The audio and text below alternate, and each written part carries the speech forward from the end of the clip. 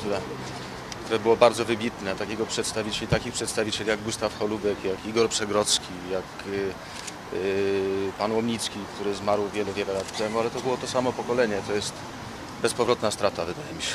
Amant? Autoironia? Proszę pani, wszystko. W profesorze było wszystko.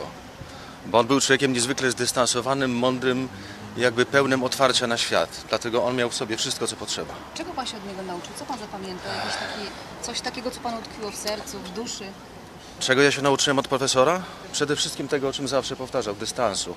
I tego, że są takie momenty, kiedy człowiek sam siebie nie przeskoczy i powinien wtedy trochę odpuścić i dać sobie trochę odpoczynku.